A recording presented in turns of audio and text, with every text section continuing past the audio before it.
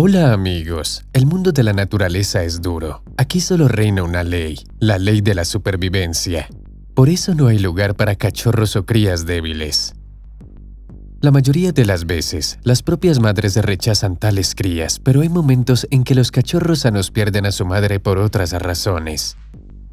En este caso, también se enfrentan a una muerte inminente, a menos que ocurra un milagro.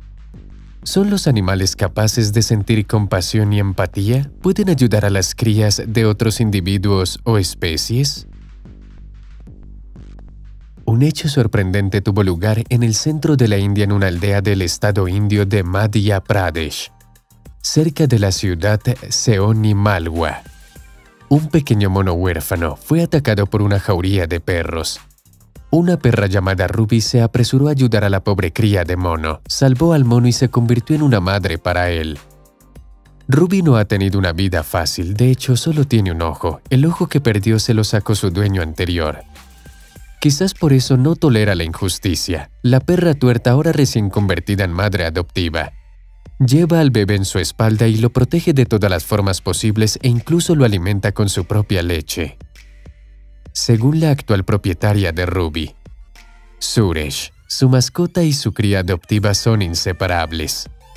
La perra carga constantemente al mono sobre su espalda, lo cuida y lo considera su propio hijo. Un pequeño mono deambulaba perdido por el pueblo cuando una jauría de perros lo rodeó, antes de que casi lo destrozaran. Ruby intervino y le salvó la vida. Ahora considera al mono su cachorro y se preocupa por él, dijo Suresh. Esta inusual pareja inseparable están constantemente juntos. Ahora se han convertido en una atracción local, incluso vienen a verlos desde pueblos vecinos. ¿Qué te parece este caso? En Noruega una vaca adoptó a varios corderos. Debido a la muerte de una oveja, tres corderos se quedaron sin madre. Su propietario, un granjero noruego, decidió no alimentar artificialmente a las crías, sino buscarles una nueva madre. La búsqueda de una oveja adecuada no produjo ningún resultado. Sin embargo, se encontró a una vaca en una finca vecina que comenzó a alimentar a los corderos sin ningún problema. El animal también perdió recientemente su cría, por lo que rápidamente se acostumbró a los corderitos. La vaca no solo alimenta a sus nuevos hijos, sino que también los cuida. Por ejemplo, llama a los corderos cuando van demasiado lejos. Y aquí hay otro caso inusual en el mundo animal. Una perra de 9 años llamada Laisha de la raza labrador está feliz de cuidar a las crías de otras especies. Laisha ya ha adoptado 30 animales diferentes, incluido un hipopótamo bebé y un puerco espín, y ahora cuida a tres cachorros de tigre. La Angelina Jolie de los perros está feliz de cuidar a diferentes crías.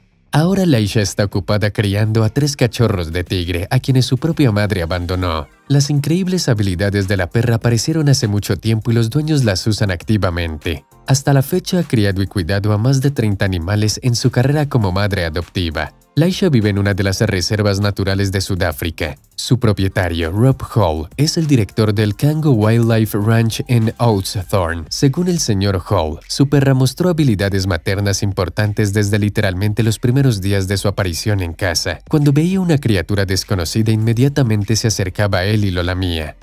Dice el dueño de Laisha, unos gatitos fueron los primeros en su lista, después fue un puercoespín. Este último, la verdad, que fue una situación muy divertida. Cuando los Halls descubrieron este rasgo distintivo, decidieron utilizarlo en beneficio de la reserva natural. Si Laisha ve que han traído una caja con un animal a la casa, inmediatamente se da cuenta de que debe cuidarlo. Dice Nadine Hall. Ella lo lame y lo cuida como si fuera su propio cachorro. Ahora, bajo la supervisión de Laisha, hay tres cachorros de tigres.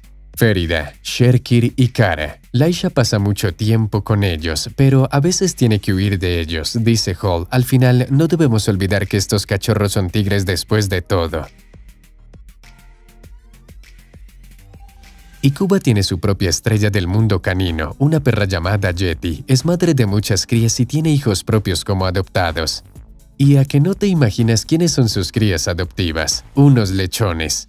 Yeti tenía una camada de cachorros que cuidar cuando los lechones la adoptaron como su segunda madre. Desde entonces la perra de granja cubana ha hecho un doble trabajo, alimentando no solo a sus cachorros sino también a 14 pequeños cerditos. El granjero Manorki Santa María dijo que los lechones también toman leche de sus madres, pero cuando ven a Yeti corren hacia ella en busca de comida también. De hecho, los cerditos la persiguen por la granja como si fuera su verdadera madre. Nadie le impuso esto a la perra, dijo Santa María. Simplemente sucedió cuando los lechones tenían 15 días. La verdad es que todos los descendientes biológicos de Yeti excepto uno fueron regalados y el cachorro restante siempre está al lado de su madre.